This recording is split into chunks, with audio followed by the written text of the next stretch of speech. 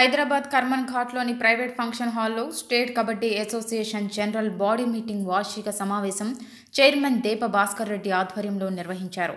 కబడ్డీ క్రీడాకారులను ప్రోత్సహిస్తూ వారికి అన్ని సౌకర్యాలు కల్పిస్తూ వారిని అంతర్జాతీయ స్థాయిలో రాణించే విధంగా తీర్చిదిద్దాలని సమావేశం తీర్మానించింది. ఇండియాలో క్రికెట్ తర్వాత అత్యంత ప్రజాదరణ కలిగిన క్రీడ కబడ్డీగా పలువురు వెల్లడించారు. ప్రో కబడ్డీ లీగ్ వల్ల ఇండియాలో మంచి ప్రజాదరణ వస్తుందని భవిష్యత్తులో చాలామంది యువకులు ఈ క్రీడ వైపు వచ్చే అవకాశం ఉందని Telangana state kabaddi association chairman Deepa Bhaskar Reddy ఆశాభావం వ్యక్తం చేశారు. మనం దానికి బాధపడాల్సిన పని లేదు. మన వెనుక ఒక పులి ఉన్నది.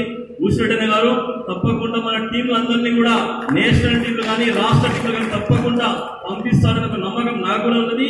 నేను అసలు కబడ్డీ టీంలో నేను మెంబర్గా ఒక లేకపోతే వైస్ ప్రెసిడెంట్ అసలు ఏది కూడా తెలియకుండా నన్ను ఈ రోజు ఇక్కడ స్టేజ్ మీద కూర్చోబెట్టిరు నాకు ఈరోజు ధైర్యం వచ్చింది. ఎందుకంటే నేను చూసిన మొన్న కూడా అందరూ కూడా హైకోర్టు విషయం కానీ సుప్రీంకోర్టు విషయం కానీ చెప్పినాడు. మనం బాధపడాల్సిన పర్లేదు. ఈరోజు ఈ రోజు ఎంత మంది వచ్చినా ఏం చేసినా ఈ అసోసియేషన్ కబడ్డీ అసోసియేషన్ శ్రీకాంత్